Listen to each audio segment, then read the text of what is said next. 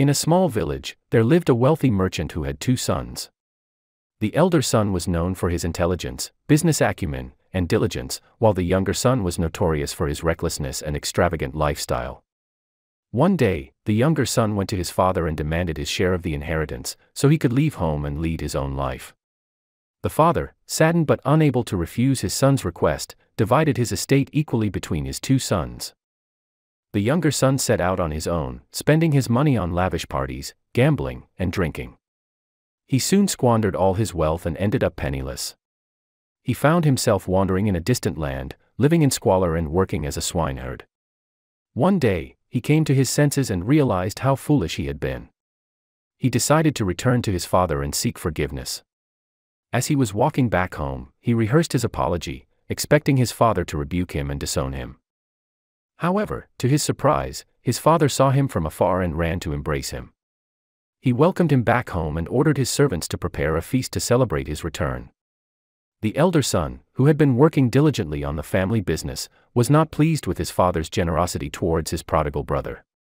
He refused to attend the feast and expressed his displeasure to his father. The father, saddened by his elder son's bitterness, tried to reason with him, telling him that his brother had returned and it was time to forgive and forget. The elder son, however, remained adamant and argued that he had always been obedient and hardworking, yet his father had never thrown a feast for him. The father, realizing his elder son's resentment, explained to him that he had always been with him, and everything he had was his. The father reminded him that he should rejoice at his brother's return instead of feeling jealous. The elder son was humbled by his father's words and decided to attend the feast. As the family sat down to eat, the father gave a speech, explaining the true meaning of wealth and the importance of forgiveness. He reminded his sons that wealth was not just material possessions but also included love, compassion, and family unity. He urged his sons to learn from their mistakes and forgive each other, for only then could they live a happy and fulfilling life.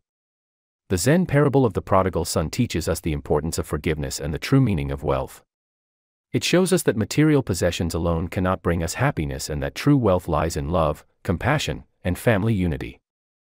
We should always be ready to forgive others and ourselves for our mistakes and strive to live a life of kindness and generosity. Thank you for watching.